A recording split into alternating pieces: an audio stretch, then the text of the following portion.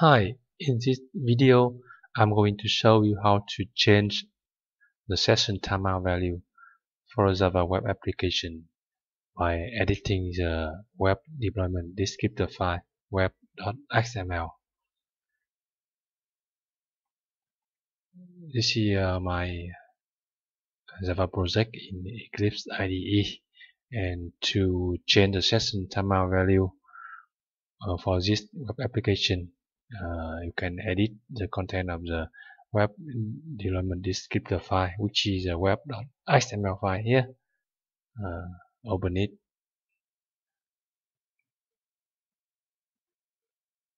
Here's the code of the web.xml file. And you know by default uh, the session timeout for the web, web application in running uh, in Tomcat server is uh, 30 minutes. And to override the default value you can uh, specify the session timer value in the web.xml file here. Uh, create a new uh, section session config. You can press the shortcut key control space uh, so Eclipse can automatically complete uh, the HTML code and uh, session timeout. And note that the value for session timeout in this web development descriptor file is in minutes. So I change the session timeout for 45 minutes and uh, save the file. Okay that's it. That's how to uh, change the session timeout value for the web application using uh, uh, web development descriptor file web.xml file. Or in case uh, you want to change the session timeout value for the web application which you already deployed in uh, Tomcat server you need to go to uh, Tomcat installation directory to the deployment uh, directory in uh, here on my computer in program files Apache software foundation Tomcat 9.0 uh, web apps.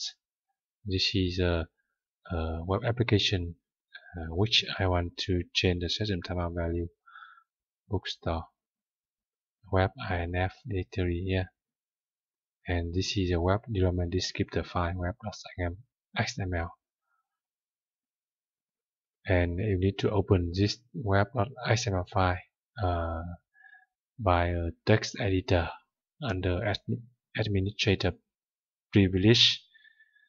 Okay so on my computer I open it uh, using uh, uh notepad. So I run notepad with the administrator privilege run as administrator.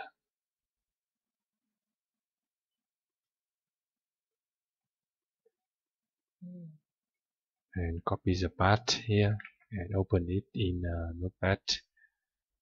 Paste here.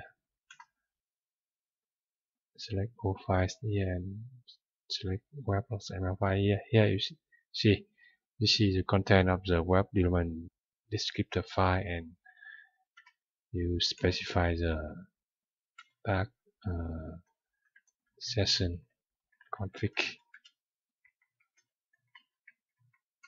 and uh, session timeout. Remember that uh, the value for session timeout here is in uh, minutes. Here I specify a shorter session timeout value uh, for example uh, 15 minutes.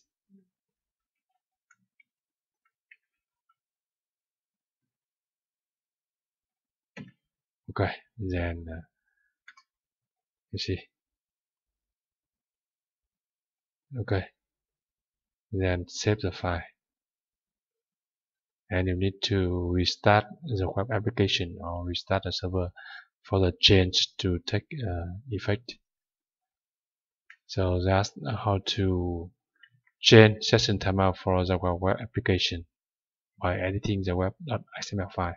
Thank you for watching.